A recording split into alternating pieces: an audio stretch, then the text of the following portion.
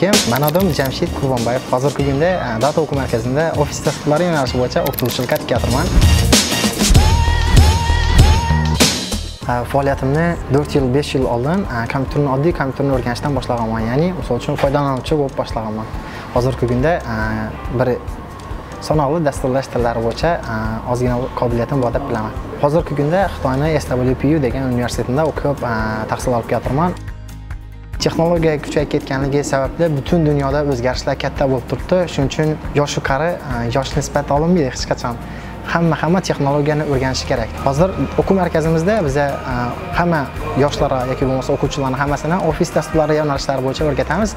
Bu yo'nalishda o'quvchilar navlari ega bo'ladilar. O'quvchilar kompyuterni noldan ya'ni nol darajadan e, foydalanuvchi darajasidan o'rganib biladilar misol uchun bu yerda kelgan o'quvchilarda oldin klaviaturada ishlash uchun ham e, imkoniyat bo'lmagan. Shuni ham bilmay o'tirishlari tabiiy hol chunki klaviaturani o'zida ko'p sirlar bor misol uchun har bir qadam ketma ket standart formatda ketishi kerak. Standart formatdagi qadam chiqiladi qoladi. Misol uchun uyni ham oldin plitamet quriladi. Ya'ni bosh quriladi. Shu bilan kompyuterni o'rganishda ham klaviaturani o'rganish kerak klaviaturani o'rganish dastur katta. Datadagi dasturlash eng keraklisidan biri. Chunki dasturlash fikrlashni o'rgatadi.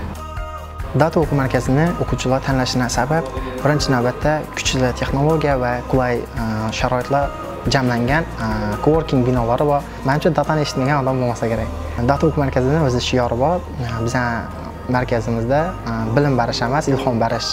Lekin bilim ham bariladi faqat ilhomimiz kamlikatiladi hozirgi kunda data markazidagi o'qituvchilarni bilimi ko'p ya'ni sanoqli desam ham bo'laveradi. Undan tashqari manimcha yaqin orada ya'ni yaqin kelajakda data o'quv markazi international ofislar bilan ham raqobatlashib biladi degan umiddamiz. Keyin shuni o'quvchilar bo'ladi faqatgina sertifikat uchun keladilar. Yo'q faqatgina sertifikat uchun emas hozirgi kunda kasb yoki bo'lmasa shunga o'xshaydigan misol uchun o'zini kasbini qulay tanlab bilish darajasi bo'lishi kerak. Hozirgi vaqtda sertifikat rol o'ynamaydi. Sizni qo'lingizdagi hunar rol o'ynaydi. Man motivatsiya oladigan narsalardan biri bu. E, manda yo'q narsalar. Chunki shuni bor qilish uchun harakat etaman. E, har kun reja tuzsak ham har kungi rejamiz e, gunda qolib ketib borayotir shuning uchun yo'q narsalar uchun harakat etishimiz kerak. Yo'q narsalar bizlarga ko'proq ilhom beradi.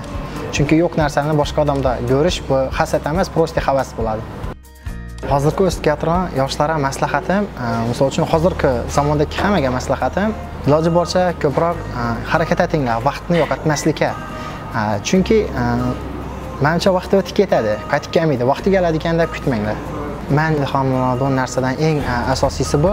Bir gap eshitganman. Ya'ni facebook kompaniyasini asoschisi mark sukerberg shuni degan i get started degan bu degani man boshladim degan. Siz qachon boshlaysiz?